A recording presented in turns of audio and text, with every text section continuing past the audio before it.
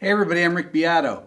You know, when I did my darkest scale ever video of the double harmonic major scale, people would write in and say, oh, I know this scale's darker, or I think this scale's darker. So I decided to call this episode Scale Wars. Hungarian minor versus Super Locrian double flat 7. Go back and forth, compose a piece, and see what you think is the darkest sounding scale. Okay, let's go over the two scales since I didn't do that in the last video. The Hungarian minor in the key of C. So we have C, D, E flat, F sharp, G, A flat, B, C. So it's one, two, flat three, sharp four, five, flat six, major seven, and back up to the tonic. The super Locrian double flat seven is C, D flat, flat,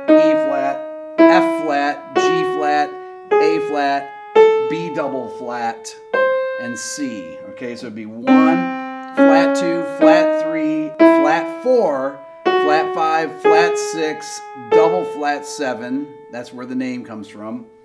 Back up to the tonic. Let's take a listen to the chords from these two scales.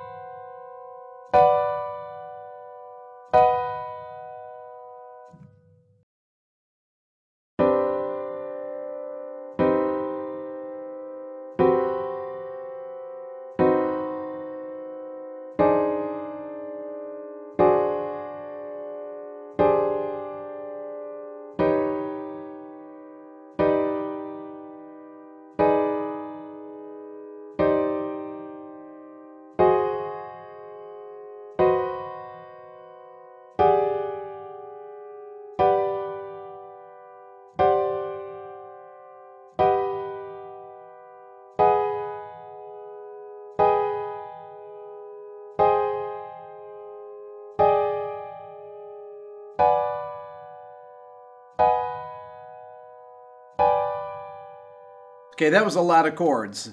Next, we have the C super Locrian double flat 7. Here are the triads and seventh chords from that scale.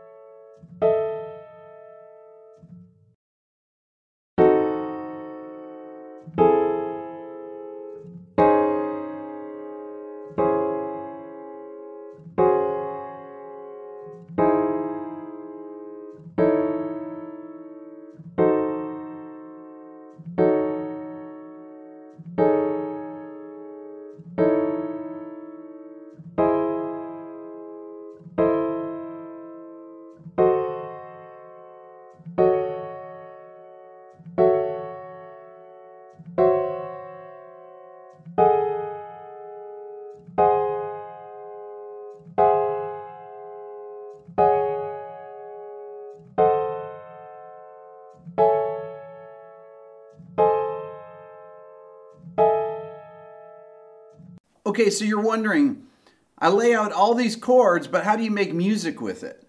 Well, you take these chords and you combine them in different ways. You use them as arpeggios. You use them as static chords. I could take a chord out of the scale like this. Or I could just make it an arpeggio in a line. Think of it as the vocabulary to create melodies from. It's not just a bunch of notes and you're meandering around. There's all these structures that are hidden within it. So here's a piece I composed for this episode. I start out in the C Hungarian minor scale, and I'll have it on the screen, and then I go to the C super Locrian double flat 7 scale.